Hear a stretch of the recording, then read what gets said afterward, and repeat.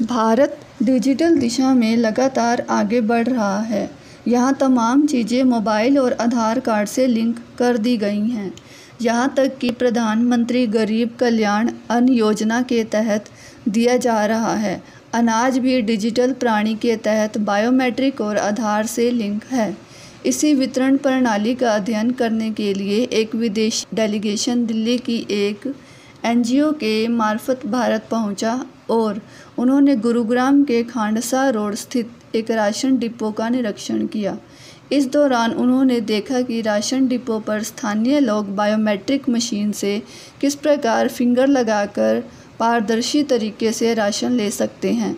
उन्होंने इस डिजिटल वितरण प्रणाली की सराहना करते हुए इसे डिफरेंट बताया। Wonderful to come and visit India to, to meet the makers of uh, Aadhaar and the people who maintain it. and see it in action in a fair price shop, really making a difference to citizens in the country and residents. And I think if we can make sure that this system is really trustworthy, that it can roll out globally this kind of system that we've got here.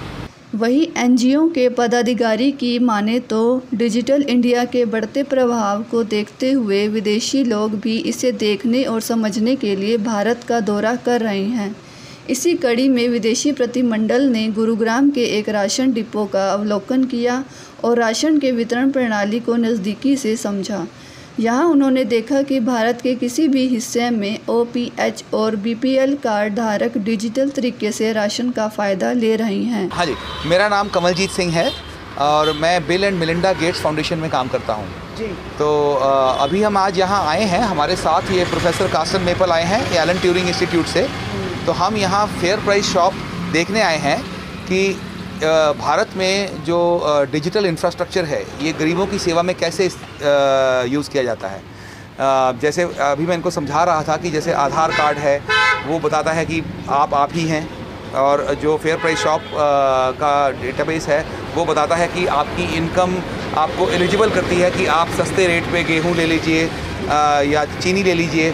लेकिन इसके पीछे जो digital system चलता है वो कैसे काम करता है उसमें विश्वास कैसे बनता है उस विश्वास को आप अलग अलग जगह से कैसे लेके जाते हैं? आप जैसे फर, इनको तो नहीं पता है कि मैं एलिजिबल हूँ कि नहीं हूँ इनको नहीं पता है कि मेरा आधार वैलिड है कि नहीं है लेकिन ये सब जो विश्वास डिजिटल में फ़्लो करता है ये उसको समझने आए हैं कि लोगों की ज़िंदगी कैसे अच्छी की जा सकती है इसको लेकर। तो डिजिटल इंडिया की बात करें तो जिस तरह से राशन वितरण है या से जो चीज़ें जोड़ी गई हैं हाँ। उसकी प्रक्रिया को देखने के लिए विदेश से लोग पहुँचे हाँ। जी।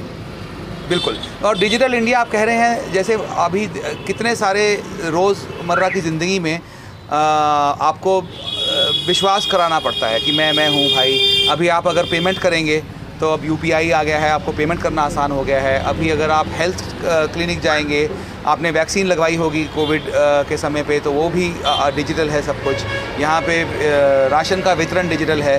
तो अगर आप देखेंगे तो ये डिजिटल इंडिया में जितना कुछ हो रहा है तो उसको समझने के लिए कि और बहुत सारे विश्व में देश हैं, जो समझना चाहते हैं कि हमें भी अपने लोगों की ज़िंदगी अच्छी करनी है तो इंडिया से क्या सीख सकते हैं? उसके लिए हम आए।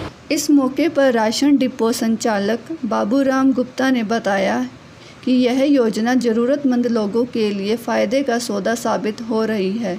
इस प्रणाली के तहत सभी का खाता आधार से लिंक है।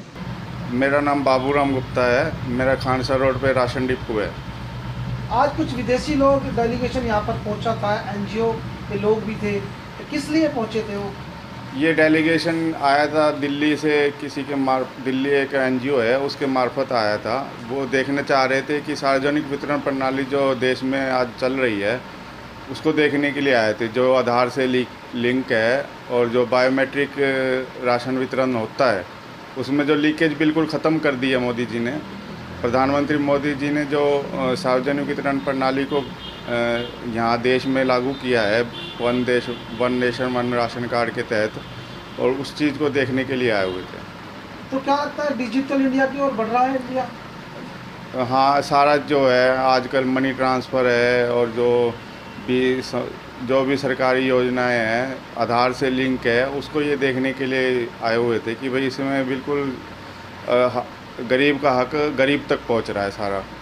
तो क्या लगता है कि विदेशी लोग भी अब प्रधानमंत्री की इस तरह की जो डिजिटल इंडिया को मज़बूत कर रहे हैं, उसको देखने के लिए पहुँच रहे हैं? हाँ वो देख रहे थे कि भाई जो इंडिया में चल रहा है अब आधार से, उसमें गरीबों को फ़ायदा हो रहा है सारा। और जो ये स्कीम चल रही हैं सारी, आधार से और बायोमेट्रिक जो पहले जो होता था और अब होता है, उसमें बहुत डिफरेंस आ गया है। अब गरीब का माल गरीब तक पहुँचता है। उसमें लीकेज बिल्कुल ख़त्म कर दी है। भ्रष्टाचार बिल्कुल ख़त्म हो गया है इसमें। तो गर्व की बात है गर्व की बात तो है ही। जो भी डेलीगेशन जब देखने आ रहा है बाहर से भी स्कीम को देखने के लिए लोग आ रहे हैं तो उसमें देश का गौरव तो बढ़ता है। डिजिटल माध्यम से जिस तरह से भ्रष्टाचार पर अंकुश लगा है इसी से प्रभावित होकर विदेशी डेलीमेशन प्रधानमंत्री की सार्वजनिक वितरण योजना का अध्ययन करने के लिए भारत आ रहे हैं।